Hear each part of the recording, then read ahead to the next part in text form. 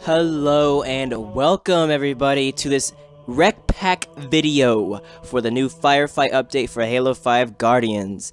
The update has just arrived a few hours ago. Um, I will be posting this sometime, I don't know when, so whatever. Anyways, I have so many REQ points, so hopefully I can get them all. Get all the REQs in the world, all of them. Here we go, starting off with the gold pack. Already with the Temple Ghost, I heard they are faster. That is an ugly helmet. Anyways, I heard they are faster. You can shoot while you're boosting too. So that's really cool. Let's see what we got up next.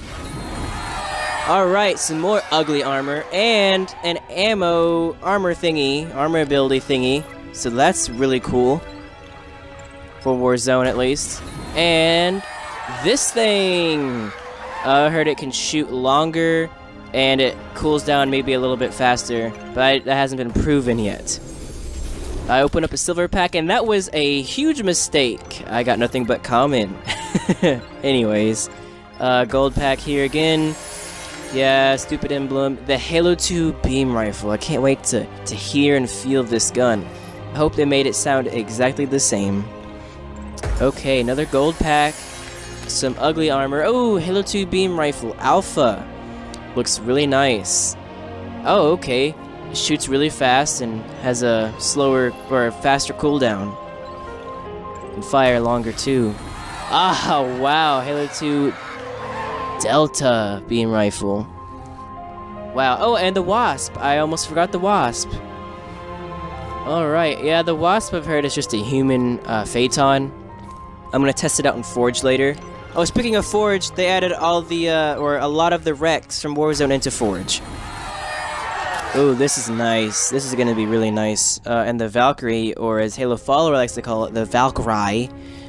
Valkyrie. Anyways. uh, here, here we go again with another gold pack. Come on. Okay, that's from the last update. Um, or two, like two updates ago, that stance. Apparently I didn't get that even though it said I had all of them.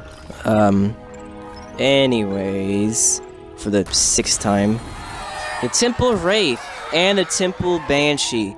Now, I don't know if these have more armor than the Sword or the Ultra variants, but I do know that they're a lot faster, and they're meant to get around better. I'll have to test that out some other time. Ooh, I like that stance and that emblem. I'm going to equip both of those right now. Come on. There has to be more, right? We're just getting stances and emblems.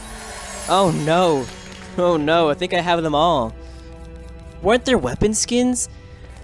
I'm opening these REQ packs, or that REQ pack, and I got a refund. Same same with this one. Um, is, is that it? Is that all the REQs? I mean, I have this glitch, maybe it's not only me, to where I only get a, a few of the items. Like, that pose, I was never able to get before until this update came out. So please let me know if I'm the only one. Anyways, thank you for watching and hopefully you enjoyed and you learned something new about the REQs system. I don't give a crap, whatever. Don't forget to subscribe and like. I'll see you soon.